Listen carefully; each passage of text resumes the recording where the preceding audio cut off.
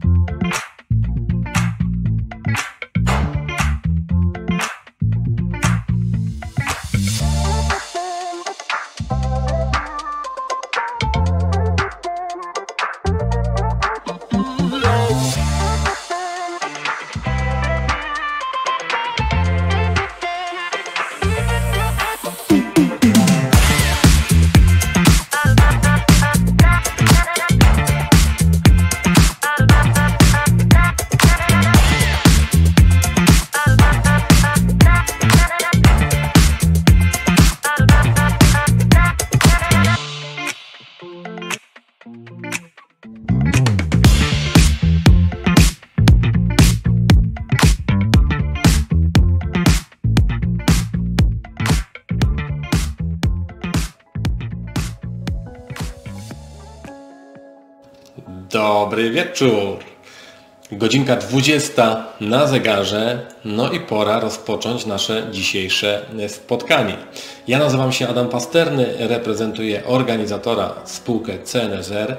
Serdecznie Was raz jeszcze witam. Jest mi niezmiernie miło, że znaleźliście czas, żeby być dzisiaj z nami. Dzisiejsze szkolenie z psychopedagogiki, szkolenie, które poprowadzi e, Tomasz e, Wilczewski.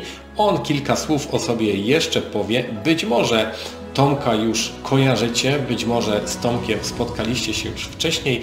Tomek prowadził również szkolenie 22 grudnia na e, naszym profilu facebookowym. To było szkolenie dotyczące motywacji dziecka, a dzisiaj, tak jak wspomniałem, psychopedagogika, czyli nowe spojrzenie na wychowywanie i rozwój dzieci. Szkolenie dzisiejsze skierowane oczywiście do nauczycieli, do specjalistów, ale również do Was, do rodziców, bo wierzę, że tacy również tutaj w gronie naszych e, słuchaczy, obserwatorów są. Ja zabiorę Wam dosłownie jeszcze chwil kilka, a za chwilę oddam głos Tomkowi. Moi drodzy, technicznie, gdyby cokolwiek się wydarzyło i przerwało nam trans transmisję, wracamy na stronę główną facebookową.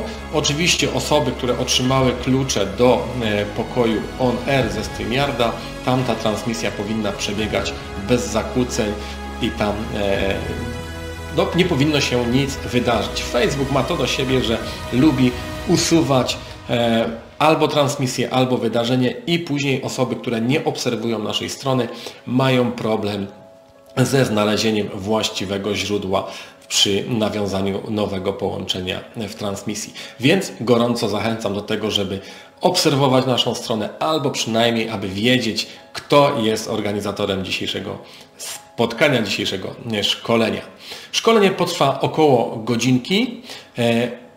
E, i będzie dostępne tylko i wyłącznie e, w dniu, kiedy to szkolenie ma miejsce. Kolejnego dnia wygasimy ten post, szkolenie już nie będzie dostępne e, w zapisie na Facebooku. Oczywiście pozostawimy Wam kilka możliwości, gdzie to szkolenie będzie można odnaleźć, natomiast będzie to już dostęp najprawdopodobniej płatny. E, cóż jeszcze? Życzę Wam dobrego spotkania. Życzę Wam, abyście e, mieli czy mogli wyciągnąć jak najwięcej informacji, które Wam przydadzą się w codziennym e, życiu, w codziennej pracy. Oczywiście e, ze względu na okres świąteczny i noworoczny życzę Wam jak najwięcej sukcesów w nadchodzącym 2023 roku. I cóż, korzystajcie z wiedzy Tomka. Ja więcej czasu nie zabieram. Trzymajcie się cieplutko. Oddaję głos Tomkowi.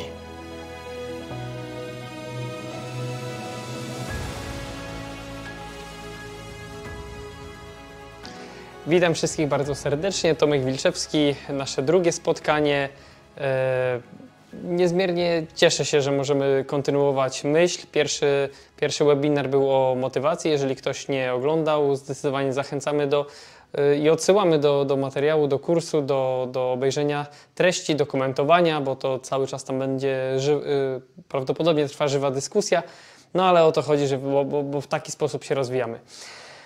No a dzisiejszy temat to y, psychopedagogika, czyli takie dosyć pojęcie modne, aczkolwiek z modą nie ma nic wspólnego, bo niestety my lubimy sobie jako Polacy tak trochę naśladować, że będziemy sobie tutaj realizowali y, szkołę bez przemocy, później jakieś inne amerykańskie, czy fińskie, czy hiszpańskie, czy inne y, zagraniczne metody, a tak naprawdę psychopedagogika jest y, pojęciem od początku y, do końca stworzonym tutaj przez Polaka, profesora Tadeusza Chucińskiego, oczywiście y, zbiór naukowców, którzy prezentują te treści jest zdecydowanie szerszy i to w całej dydaktyce nie tylko profesor tutaj y, czynił y, badania, prace i, i, i rozważania. Aczkolwiek y, podkreślam i wielokrotnie będę to robił, bierzmy potencjały z tego, co, co jest w nas, a nie, nie zapożyczajmy, nie bierzmy kredytów u innych, tylko, tylko budujmy to, co w sobie mamy, bo najlepiej czujemy, w którą stronę należy się poruszać. No więc ta psychopedagogika. Znowu pojęcie bardzo szerokie, y, będziemy mówili tutaj, y, czym ona ma być i dlaczego jej jest taka wartość. Generalnie wydaje nam się, że efekty y, kształcenia muszą wiązać się z postępami w nauce, z post- z postępami dydaktycznymi, ale generalnie, żeby to osiągnąć, potrzebne jest uruchomienie pewnego mm, wewnętrznego potencjału, wewnętrznego pobudzenia, które skłoni młodego zawodnika, młodego y, ucznia do tego, żeby y, realizować tok lekcji, y, być umotywowany, odczuwać postęp i, i tak naprawdę współpracować z nauczycielem, bo to też jest obs- obszar psychopedagogiczny. No i ta psychopedagogika, można powiedzieć, zawiera się w tym, że jest połączeniem metod, form, dydaktyki, metodyki, czyli można powiedzieć takiego języku, języka pracy na lekcji i psychologii, czyli tych wszystkich aspektów, które się dzieją w y, człowieku. No i ten zbiór metod psychopedagogicznych profesor Tadeusz Szuciński nazwał imopexis. Imopexis, czyli metoda zarządzania sobą, partnerem i grupą klasową i sytuacją trudną, czyli można powiedzieć wszystkie filary tego, z czym nauczyciel się codziennie mierzy. A mierzy się właśnie ze sobą i tam wyjątkowy porządek należy w sobie zawrzeć. Yy, porządek, a czasami nieporządek, bo yy, porządek to jest kosmos, a nieporządek to jest chaos. I bardzo często nam się wydaje, że jesteśmy w pewnym nieporządku i jest chaos na lekcji, a tak naprawdę może to świadczyć, że przepływ, który płynie między dzieciakami i w całej grupie klasowej i w sytuacji, w której się znajdują, może być totalnym kosmosem ich doświadczeń, wrażeń, przeżyć i wartości.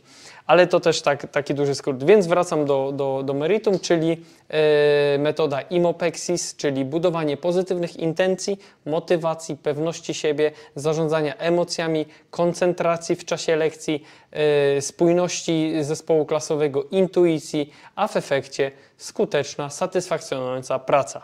Tak wygląda skrót e, metody imopexis.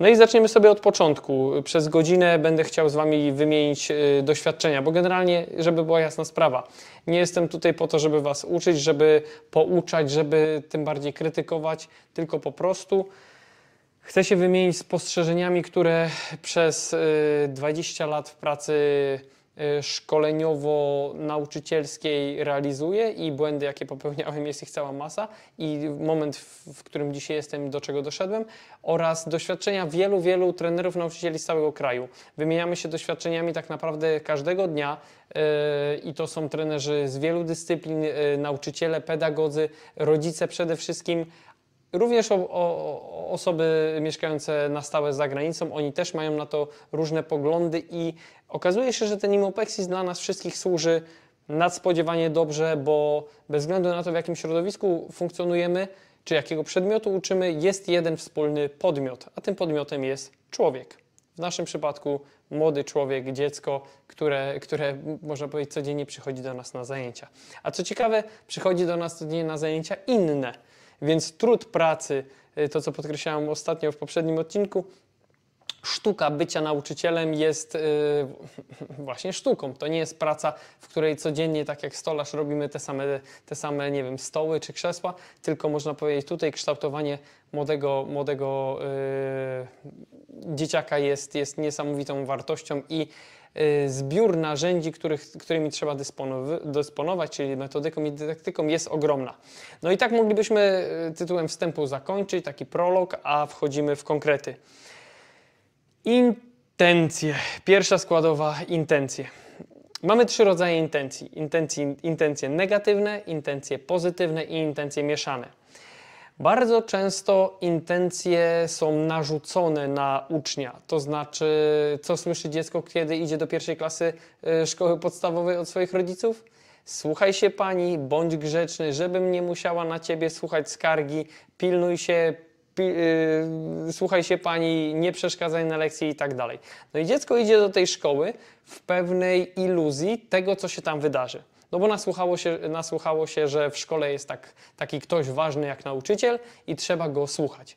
No i tak można powiedzieć, że przez tydzień to działa, a później czar pryska i okazuje się, że ten nauczyciel w zasadzie to nie jest wcale taki fajny. Można u niego robić rzeczy, których teoretycznie y, nie można byłoby, albo w ogóle chciałoby się coś robić, a tam jest to zakazane. No i taka postawa nauczyciela, który narzuca swoje racje, przekonania, poglądy, tempo, wymagania, buduje szacunek nierzeczywisty. Nierzeczywisty, czyli narzucony od osoby dorosłej na dziecko. I taki szacunek nierzeczywisty bardzo szybko bardzo szybko można powiedzieć jest taką informacją zwrotną, która powoduje brak przyjemności w uczestnictwie szkolnym dziecka i nauczyciela. Czyli generalnie po jakimś czasie nauczyciel ma dość pracy ze swoją grupą, a grupa ma dość pracy ze swoim nauczycielem. Te intencje można wytłumaczyć również w taki jeszcze prostszy sposób. Dobre, pozytywne intencje mamy do osób, które lubimy, po prostu. A jakie osoby lubimy? I tu znowu otwieram dyskusję, piszcie w komentarzach, yy, czy no, jakie osoby lubimy, jakie czynniki yy, należy spełnić, żeby ta druga osoba uznała nas jako autorytet. Yy, jakich lubimy? Lubimy osoby, które myślą w taki sam sposób jak my, czyli yy, wczuwają się w nasze pomysły, dają nam pewne wzmocnienie i, i nam nie przeszkadzają w realizacji tego. Na zasadzie, pamiętam jak sam chciałem ulepić, ulepić kiedyś bałwana na mrozie, tata powiedział, że się nie da na mrozie lepić, ale oczywiście natura temperamentu Tomka i wielu Polaków spowodowała to, że no to ja Ci pokażę, że się da. Poszedłem, przekonałem się sam, że się nie dało, do końca życia pamiętam. Czyli generalnie my nie lubimy być pouczani i tu znowu negatywne intencje. To są osoby, które nas pouczają, nadmiernie nam tłumaczą, yy, oceniają, krytykują, yy, nie pozwalają dojść do słowa, nie pozwalają nam się w pewien sposób wypowiedzieć. To wszystko taka, yy, taka rola nauczyciela jest, który nie zbuduje pozytywnych intencji. Efekt jest taki, że nie wygra dzieciaki y, pięknie oddziałowują, a są w sobie tak prawdziwe, tak naturalne, że z żadnej jedynki, żadnej uwagi nic im nie przeszkodzi.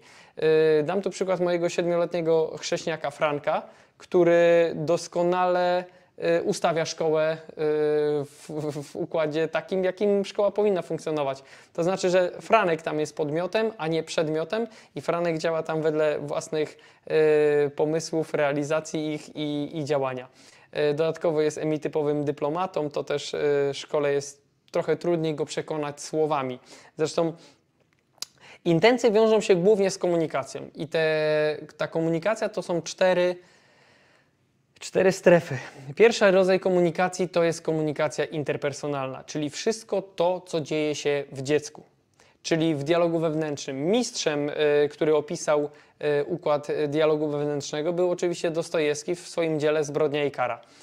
Y, Zbrodnia i kara doskonale wyraziła się tym, że mm, główny bohater zawinił, tak no, z, zabił, y, zabił przypadkową osobę y, i nikt go z tego nie rozliczył, przyznał się, nie wytrzymał w tym dialogu wewnętrznym. I dialogi, uruchomienie dialogu wewnętrznego jest fundamentem zmian w drugim człowieku. Y, Dialog wewnętrzny możemy uruchomić często tym, że mm, przyjdzie na nas choroba. W tym momencie y, wchodzą nowe przekonania, wchodzą y, nowe mm, kierunki działań i myślenia. I taki dialog wewnętrzny może zmienić bardzo dużo. Na przykład dowiadujemy się o śmiertelnej chorobie, zaczynamy inaczej się prowadzić. Kto o tym zdecydował? My sami. Więc fundamentem pracy pedagoga, nauczyciela, trenera i rodzica jest uruchomienie dialogu wewnętrznego w swoim podopiecznym. Drugi rodzaj komunikacji to komunikacja interpersonalna, czyli mówienie. Mówienie w 30% daje efekt, czyli generalnie możemy sobie, to, się, to jest spójne z piramidą Dale'a, gdzie jasno wskazane jest, że wykład i, yy, i, i tłumaczenie to, yy, biorąc je razem do siebie, to 25% przekazu, yy, efektywności przekazu. No i tak yy, mówienie to tylko 30, pro- 30% y, komunikacji. I my tak myślimy, że jak powiedzieliśmy dziecku, wytłumaczyliśmy dziecku, to on powinien coś umieć. Nie umie nic. Druga rzecz jest taka w tej komunikacji międzyludzkiej, y, to jest układ y, mowy ciała. Czyli, czyli ta y, niewerbalna komunikacja. Nie, niewerbalna komunikacja. Tam właśnie dziecko y, nabiera pewnych postaw, nabiera jest, jest tak naprawdę naszą kopią. I tu pięknie y, rodzice zbierają tego żniwa na zasadzie, że nie widząc tego, ale oddziałowując, ich dzieci są odbiciem ich samych. Czyli można powiedzieć, y, im bardziej dziecko na ciebie krzyczy, bądź pewny, że to ty wywołałeś mechanizm w układzie krzyczenia na dziecko. Można powiedzieć, ono jest idealną, y, to żadne odkrycie zresztą, to dziecko idealnie naśladuje nas, osoby dorosłe i, i my jesteśmy najlepszą postawą dla nich, więc ta komunikacja niewerbalna i tutaj w układzie nauczyciela, kiedy nauczyciel będzie, można powiedzieć, regulował swoje emocje odpowiednio, będzie y, miał odpowiednie zasoby y, do tego, żeby prowadzić mm, lekcje, będzie budował ten szacunek rzeczywisty, to taki odbiór sytuacji go spotka. Jeżeli nauczyciel będzie działał w sposób tych negatywnych intencji tak jak y, mm, się nie działa, no to takie owoce będzie tego zbierał. Czyli nasza postawa jest fundamentem do tego, y, fundamentem komunikacji do tego, czy dzieci będą chciały być blisko nas, czy będą chciały nas słuchać z uwagą. Są odbiciem, po prostu. Y, Lustrem, refleksją.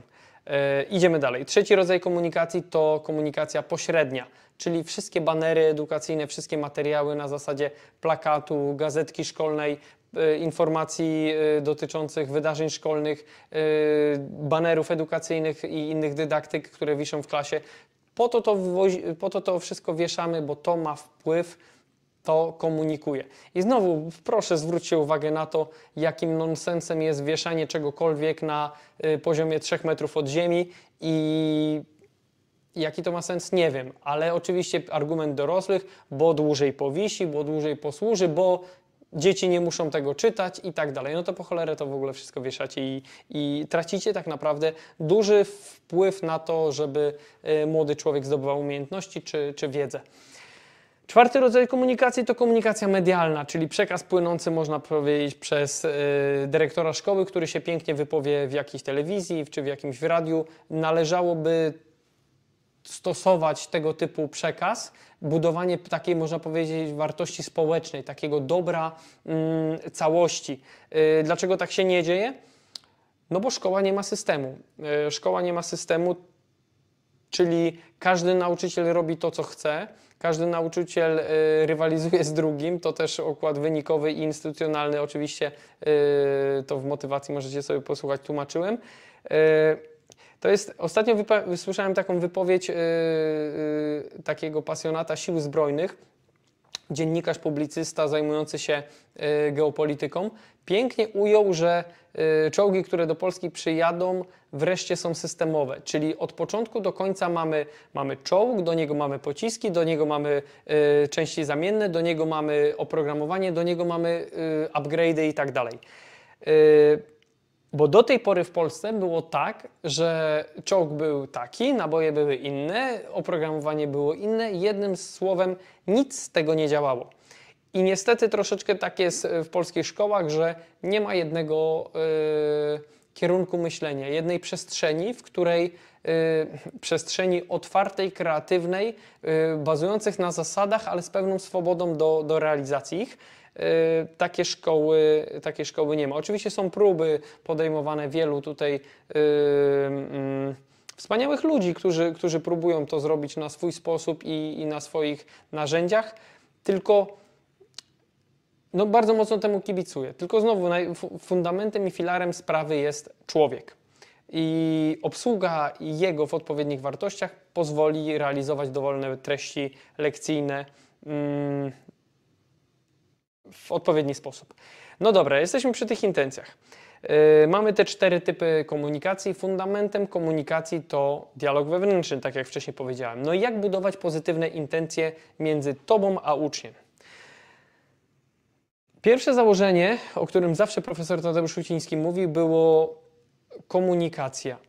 Kiedy dziecko przychodzi do ciebie, słucha cię w 70%. Kiedy ty podchodzisz do dziecka, słucha cię w 30%. Czyli statystycznie nieistotnie nie słuchacie. Jak to inaczej zrozumieć? Kiedy my idziemy ze swoim interesem do dyrektora, yy, jesteśmy zadowoleni z tego i możemy załatwić więcej. Chcemy, pragniemy, bo idziemy, tak jak mówiłem, załatwić swoje rzeczy. Ale kiedy dyrektor nas wzywa, Tomek, jutro o 9 masz być umie? Pojawia się lęk, niepewność, strach, oczekiwanie, co on ode mnie chce, znowu mi roboty dorzuci pełno, można powiedzieć, wyobrażeń, które na pewno no, często nie są prawdziwe, aczkolwiek już komplikują komunikację. Więc nauczyciele, do których dzieci przychodzą same, same z siebie, do których przybiegają, chcą rozmawiać, to już jest, można powiedzieć, pozytywny efekt tej mowy ciała, w której yy, nauczyciel jest otwarty. Zresztą takie przysłowie kiedyś słyszałem, pewien cytat y, w środowisku sportowym. W środowisku sportowym, że dziecko nie potrzebuje dobrego, wykwalifikowanego nauczyciela. On potrzebuje dobrego, wypoczętego, słuchającego nauczyciela, wspierającego. Czyli można powiedzieć, to daje też wymiar ten, że o ile te rzeczy programowe, yy, organizacyjne, czyli klasy, materiał, no jakbyśmy sobie tak mieli yy, yy, określić, po 20%. 20% to program, 20% to y, możliwości realizacji programu w klasie, 20% to y, jakieś inne składowe, 20% to strategia szkoły i tak dalej, to 20% ostatnie ze 100% to psychopedagogika, czyli uruchomienie, uruchomienie mechanizmów, które umożliwią złapanie tych, to, tych poprzednich, one są jakby katalizatorem napędowym dla, dla tych poprzednich wartości. Stąd, e, zgodnie z zasadą Pareto, 20% e, psychopedagogiki uruchamia 100% albo 80% e, pracy szkolnej. Także tutaj tutaj koniec, wracam do tej komunikacji. Jak zatem się komunikować z uczniem, żeby było dobrze, żeby było zbudowanie pozytywnych intencji, czyli w konsekwencji zaufanie do tego nauczyciela? Kiedy dziecko przychodzi do nas, my zazwyczaj oceniamy to jako podejście, w którym musimy posłużyć dziecku wiedzą, radą, wskazaniem albo yy, przejęciem odpowiedzialności. No i faktycznie tak nie jest. Żeby uczeń był odpowiedzialny, żeby uczeń yy, potrafił sobie poradzić w sytuacji, nauczyciel musi odesłać dziecko do samodzielnego rozwiązania problemu. Powtórzę jeszcze raz. Nauczyciel powinien odesłać dziecko do samodzielnego rozwiązania problemu. Słowo odpowiedzialność to znaczy przedrostek od wskazuje, żeby odsunąć się od dziecka, powiedzieć, żeby dziecko powiedziało sobie samo i końcówka sieci daje efekt duplikowania y, tej odpowiedzi, którą sobie sam zadał. I wtedy proces nauczania jest trwałym procesem. Stąd Forma dydaktyczna, praktyka własna, dyskusja w grupie i wzajemne nauczanie są najlepszymi, najbardziej efektywnymi formami nauczania, y, jakie, mm, jakie można stosować y, w procesie edukacyjnym.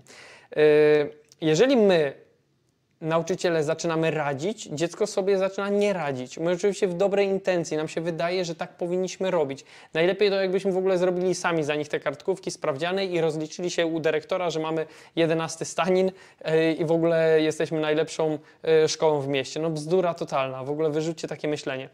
Proces zdobywania umiejętności i wychowania jest procesem długim. Proces tresury i rozliczania może być instant, może być natychmiastowy. I można powiedzieć tak, tak dziecko jest rozliczane, tak naprawdę nie ma czasu w procesie szkolnym przeżyć samego siebie. A przeżycie jest fundamentem do nadania trwałej wartości. Co mam na myśli? Kiedy odeślemy dziecko do samodzielnego, yy, yy, do samodzielnego rozwiązania problemu, jak, w jaki sposób to zrobić? Pytaniami, zrób jak uważasz, spróbuj, porozmawiaj jeszcze z Anią, może zrobicie to we dwoje, yy, zrób jak uważasz, yy, przekonaj się sam, powiedz mi, co, się sądzi, yy, co o tym sądzisz. Czyli można powiedzieć, takim pierwszym krokiem dziecko powinno z pełną, jakby takim pozytywnym uczuciem być skierowane do, do tego, że słuchaj, ufam ci, spróbuj jeszcze raz. A nie rozliczony na zasadzie znowu źle. Dlaczego ty nie jesteś taki jak Kasia? Jak możesz robić to cały czas źle? Ile razy mam ci jeszcze tłumaczyć? Jeszcze raz i wezmę, wezwę rodziców. Nie w taki sposób. Budowanie zaufania do dziecka jest właśnie odesłaniem jego do samego siebie. Niech on tam popełni błędy. Przyjdzie do ciebie drugi raz z poziomu błędu i wtedy mu pomożesz troszeczkę więcej. I efekt jest jeszcze taki w tym, że my, mm, my chcąc radzić dziecku, bierzemy za siebie odpowiedzialność. No bo jeżeli ja dziecku coś poradzę, jemu nie wyjdzie, to tak naprawdę biorę poczucie y, odpowiedzialności na siebie. Czyli dziecko, nie, pani tak kazała, ja tak zrobiłem, nie, nie ma to najmniejszego znaczenia. Y, I teraz zobaczcie, macie w klasie 26, 28, 30 dzieciaków. I teraz chcecie każdemu radzić, chcecie każdemu wskazywać drogę, chcecie każdemu podpowiadać, chcecie każdego edukować, to nie będzie efektywne. Efektywne będzie, kiedy będziecie dzieci odsyłali do wzajemnego rozwiązania problemu. Czyli yy, znowu taki przykład przy tablicy. Jest dziecko przy tablicy. No i oczywiście nauczyciel go odpytuje indywidualnie. Ale przecież cudownym rozwiązaniem byłoby, gdyby to dziecko mogło sobie wybrać osobę, która by przyszła mu pomogła. Efekt byłby taki, że zadanie byłoby policzone. Drugi efekt byłby taki, że dziecko byłoby w zaufaniu do siebie, że sobie dało radę z odczuciem, że przy wsparciu drugiej osoby może więcej. A to się wiąże znowu z kompetencjami, których my dorośli nie mamy. A kompetencji, których nie mamy, bo to są kompetencje badane w pracy habilitacyjnej profesora, kompetencje, które są e, skorelowane z układem osiągnięcia sukcesu sportowego i zawodowego. E, w, w dużym skrócie, ale jedną z takich potrzeb jest prośba zwrócenia się o pomoc. My dzisiaj dorośli nie potrafimy poprosić kogoś o pomoc. Tutaj zresztą nagrywamy, nagrywamy ten webinar i mm, no tutaj nasz organizator nie pozwolił sobie nic pomóc. Przesunąć kamery, lampy, nic po prostu, czyli no nie ma kompetencji mistrza. E, ależ będzie na tym pracował, a na pewno jego dzieci będą pracowały nad tym, żeby syn przyszedł i powiedział: Tato, pomóż mi, bo tato, pomóż mi jest ogromną wartością i na 2030 rok jest prognozowane jako jedna z istotniejszych potrzeb w tym, żeby odnieść sukces życiowy i, i, i, i zawodowy. Yy, potrzeba zmiany jest taką kompetencją. Zobaczcie nam, nauczycielom, jak jest ciężko coś zmienić. Przecież mówię Wam cały czas o innych formach edukacyjnych, ale nie, bo ja przy tablicy i przy biurku rządzę. No to będąc dyrektorem, bym zlikwidował tablicę i biurko. I wtedy byś musiał w kreacji sobie poradzić, czy musiałabyś sobie zarządzać lekcją w inny sposób. Oczywiście nowoczesne szkoły budują e, te, te obiekty inaczej. Zresztą też e, trochę po świecie jeżdżę, byłem w Stanach i tak dalej, na Litwie i pewne pomysły są faktycznie, służą uczniowi. To, to najważniejsze, służą uczniowi, czyli ławki dla, czterech osób, dla czterech osób, w których można powiedzieć jest przestrzeń wspólna do pracy, od razu uruchamia układ tego wzajemnego nauczania w modelu dydaktycznym. Yy, co tam jeszcze? Yy, z rodzicami macie często problem w, tym, w tej psychopedagogice. Tam też yy, te wszystkie zasady są. Można powiedzieć tak, przychodzi do Was rodzic po jakąś radę, no i Wy mu klasycznie mówicie, co trzeba zrobić. Trzeba zrobić tak, tak, tak i tak. Jaką macie gwarancję, że rodzic po powrocie do domu uruchomi do działania Wasze wskazówki? Wydaje mi się, że tej gwarancji nie ma, a jest wręcz przeciwnie. Rodzic dalej będzie popełniał ten sam schemat, który go doprowadził do problemu, z którym przyszedł do Was. Więc trzeba go odesłać do samodzielnego rozwiązania problemu. Nie wiem, droga Pani, nie wiem co zrobić. Yy, proszę spróbować i przyjść do mnie drugi raz z jakim będzie, jaki, jaki będzie tego efekt. W momencie, kiedy ja bym poradził, tej matce by nie wyszło, obwiniłaby mnie, że to ja źle doradziłem i tak dalej. A tak naprawdę yy, w ogóle by w ładunku emocjonalnym nie pamiętała, że, że, że to dalej ten sam schemat. Yy, no i tak buduje się szacunek rzeczywisty. W momencie, kiedy ktoś nam pozwoli popełnić błędy, a tak naprawdę działać wedle własnego planu. Bo kiedy nam się nie powiedzie, sami przyjdziemy i, yy, i, yy, i dokonamy tej zmiany. Dlatego uwielbiam stwierdzenie, a co jak cię uczeń oszuka? Uwielbiam to stwierdzenie, bo jak mnie oszuka, to uruchamiam dialog wewnętrzny taki, żeby mu było nieprzyjemne, takie wewnętrzne pobudzenie yy, psychologiczne, które ma spowodować, że on drugi raz nie będzie chciał oszukać. Takie yy, właśnie jak w zbrodni i karze, że ja wiem, że on oszukał, on wie, że on oszukał i niech sobie w tym tkwi momentalnie e, zaczyna zmieniać e, drogę ku prawdzie. Dam wam przykład taki e, koronny, kiedy byłem młodym chłopakiem, poszliśmy z chłopakami na jabłkach, najedliśmy się tych jabłek, no i później przyszły, przyszedł czas na głupoty, wziąłem jedno z jabłek i zacząłem pisać na budynku trzy litery. Pierwsza literka to była H, druga to było U i przy trzeciej literce, już kończąc prawie ten wyraz, podjechał ojciec. Podjechał ojciec, powiedział: Tomek, chodź do mnie. Podejdź, proszę. Podszedłem do ojca z, z poziomu stu wymówek. To nie moja ręka, koledzy mnie namówili. Yy, nie chciałem tego napisać, ale nie wiem dlaczego, jaka będzie kara. Miałem 100 pomysłów na to, jak można powiedzieć z tego wyjść. Co zrobił ojciec? Ojciec odesłał mnie do dialogu wewnętrznego jednym zdaniem. Tomek, dlaczego to napisałeś? Efekt był taki, że sam podjąłem decyzję natychmiastową, żeby zamazać cały napis i żeby nigdy więcej nic nie napisać na murze. To jest siła dialogu wewnętrznego. I teraz my, nauczyciele, chcemy rozliczać. Brakuje nam odporności emocjonalnej, czyli można powiedzieć, coś się wydarzyło, a my od razu reakcja na to. Brakuje nam wytrzymałości emocjonalnej, takiego wysiłku, żeby ponosić trochę ciężar tej sytuacji. A musimy to zrobić, ponieważ dziecko jest w pewnych przeżyciach tej sprawy. Dziecko potrzebuje do y, tej refleksji nad samym sobą, na odczuciu siebie, potrzebuje czasu. Długi temat z, tym, z, tym całym, z, tym, z tą całą komunikacją, ale to jest komunikowanie podmiotowe, bez nakazów, rozkazów, ocen, opinii, porównań yy, i innego zniewolenia. To jest podmiotowość, a nie przedmiotowość. Podmiotowość jest wtedy, kiedy młody człowiek podejmuje ocenę sam z siebie. Ileś lat temu koledzy nauczyciele trochę się ze mnie śmieli, bo przestałem oceniać dzieci w szkole. Na zajęciach szkolnych przestałem je oceniać. Y, sytuacja, jaka mnie do tego skłoniła, była następująca. Dzieciak, który był niegrzeczny, nie słuchał, przeszkadzał w lekcji, miał inne pomysły na to wszystko, mimo że reprezentował wielką sprawność fizyczną, czyli zasługiwał w układzie fizyczności na, na oceny bardzo dobre, y, w moim, w moim subiektywnym odczuciu y, stawiałbym mu trójkę. Natomiast jego odczucie o samym sobie była co najmniej piątka.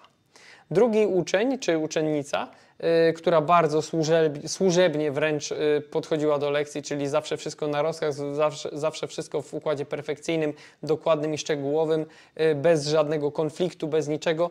W moim odczuciu, no taka grzeczna dziewczynka to niech ma piątkę.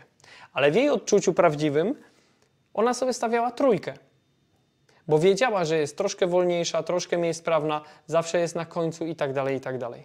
I wtedy zrozumiałem, że to dzieci mają siebie zacząć oceniać. I tu zaczy, zaczynała się cała praca nauczyciela. Czyli jak poprowadzić tego niegrzecznego, żeby on zrozumiał siebie i sytuacje, które generuje, i jak wzmocnić yy, dziewczynkę, która w perspektywie własnej pracy osiągnie postęp, tylko troszeczkę wolniej. No i tu y, całe uruchomienie dialogu wewnętrznego u jednej i u drugiej strony, czyli można powiedzieć zbudowanie dziewczynki na poziomie widzę, co zrobiłaś, czy też odczuwasz ten postęp, Wi, y, y, czy jesteś w stanie zrobić kolejne ćwiczenie. Malutkimi zadaniami podnosiłem jej poczucie wartości, tak że po miesiącu ta dziewczynka z trójki stawiała sobie już czwórkę. Natomiast uczniowi, można powiedzieć, z tą nadwyżką energetyczną, y, pozbawiałem pewnych przywilejów, pewnych przyjemności, dałem mu odczuć, że, mm, że coś tu nie gra. Ale oczywiście nie karą, nie oceną, nie tłumaczeniem, tylko oddalałem się od niego. A jednak mu byłem w, jakimś, w jakiejś kwestii potrzebny, bo yy, mieliśmy wspólne cele. Więc on dla świętego spokoju mówił: Dobra, to już się nie czepiaj, facet, to ja już biorę czwórkę. Czyli można powiedzieć, po miesiącu pracy tu podniosłem, a tu obniżyłem. Kolejny rok, y, kolejny miesiąc był miesiącem y, takiego przełomu, że dziewczynka jeszcze coraz chętniej zaczęła uczestniczyć w tych zajęciach, coraz bardziej zdobywała wiedzę, coraz bardziej budowała siebie i na koniec, po drugim miesiącu pracy mówiła zdecydowanie tak, jestem w stanie realizować treści na piątkę. Sama to powiedziała, po dwóch miesiącach od tego, gdzie nasze zdania były różne od siebie. Natomiast chłopak, stał się moją prawą ręką, yy, bo w dialogu wewnętrznym ocenił siebie tak, słuchajcie, przecież ja tu jestem najlepszy w klasie, najszybciej w ogóle y, tych sportów uprawiam co niemiara, więc wypadałoby mieć tą piątkę. I to był moment, w którym on zaczął realizować z własnej woli program nauczyciela, nie z nakazu. Zaczął mieć pozytywne, w ogóle z intencjami jest zawsze cztery kroki. Pierwsze to są intencje do nauczyciela. Czyli można powiedzieć, przedmiot może być głupi, ale jak nauczyciel jest fajny, to ja chcę tam być, to chcę to, to, to realizować. Biologia w podstawówce może być beznadziejna, w liceum może być najlepszym przedmiotem, a co się zmieniło? Nie program, bo często to były powtórki, tylko zmienił się nauczyciel. Czyli budowanie int- pozytywnych intencji zawsze jest do osoby. Drugim krokiem jest program nauczyciela. Kiedy są negatywne intencje do osoby nauczyciela, to program nauczyciela też jest w układzie negatywnym i dzieciak do niego nie przystępuje z pełnym zaangażowaniem.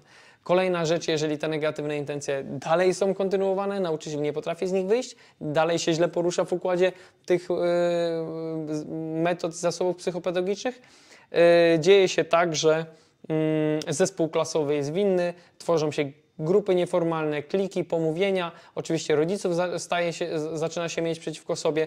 No i jest cały, można powiedzieć, już fundament y, oparty o dyrektora, może Radę Miasta y, czy, czy inne urzędy. Efekt jest taki, że albo przesuwają ucznia, albo wyrzucają nauczyciela. Wszystko sprowadza się tutaj, podsumowując, wszystko sprowadza się do tego, że w komunikacji nauczyciel nie wczuwa się w emocje dziecka nie potrafi spojrzeć jego oczami. Yy, Nie potrafi odrzucić własnych cieni, takich yy, cienie to też poglądy i schematy, takich przyzwyczajeń, które chętnie wtrąca, to przerywanie, to takie myślenie o sobie, pewnego egoizmu, pewnego wykorzystania dziecka dla swojego rezultatu. Yy, Nie potrafi wysłuchać dziecka bez obwiniania. To, co mówiłem w poprzednim odczuciu, że wystarczy w tym w, w poprzednim webinarze, że wystarczy, że dziecko mm, odpowiemy mu, odeślemy go do siebie zdaniem, aha, skoro tak to rozumiesz. I koniec. I się uruchamia kolejny potencjał dziecko. Dziecko, można powiedzieć, w tym odsyłaniu do siebie uruchamia się na coraz wyższym poziomie samego siebie. Jeżeli będzie działało i będzie rozliczane, działało i rozliczane, to ono w kółko będzie w tym samym miejscu. Jeżeli dziecko działa, nie jest rozliczane, ale jest przesunięte rozliczenie na samego siebie, to drugi raz robi więcej.